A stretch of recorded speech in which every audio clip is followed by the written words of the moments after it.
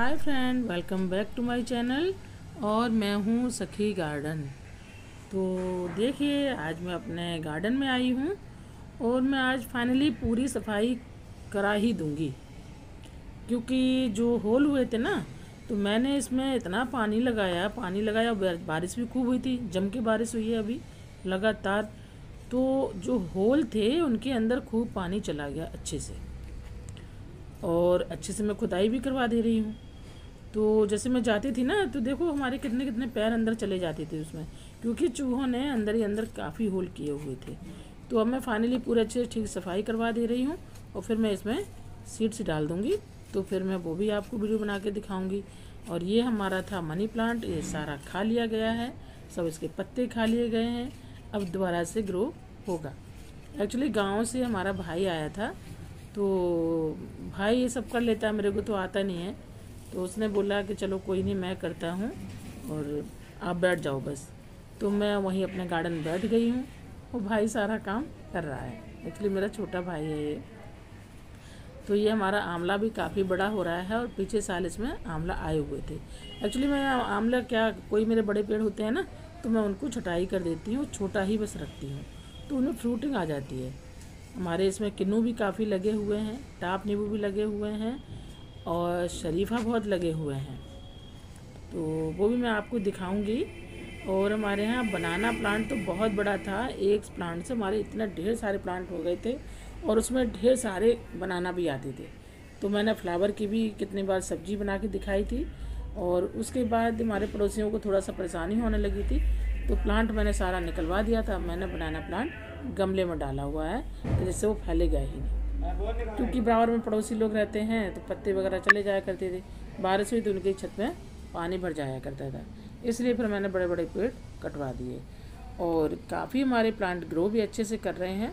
तो ये हमारा देख लीजिए पिंक कलर का भी है हमारे पास येलो कलर का भी है।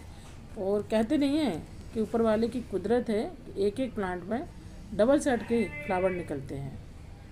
तो ये हमारा बहुत प्यारे हैं, देखो ये हमारे पास मधु कामनी भी है, यानी काफ़ी प्लांट हैं। और वाइट अपरास्ता भी है ब्लू भी है, और मेरे पास एक और थी पर्पल में।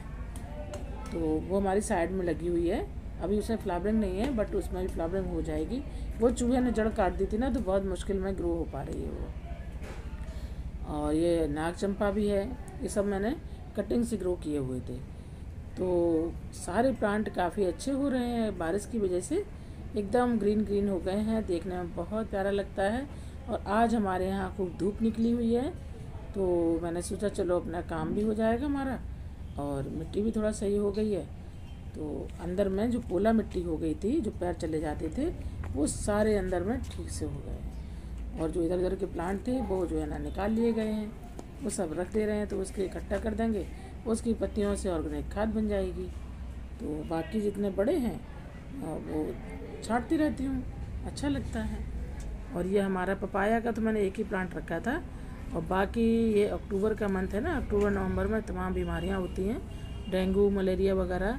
तो जो छोटे छोटे हमारे पपाया प्लांट थे, वो मैंने निकाल लिए, उसके पत्तों को सुखा करके छाया में वो रख दिए हैं।